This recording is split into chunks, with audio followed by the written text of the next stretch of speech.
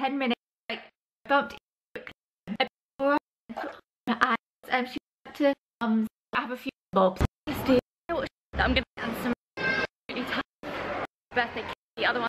And there are some great cards out there for females, but there are no good cards for 23 year old males.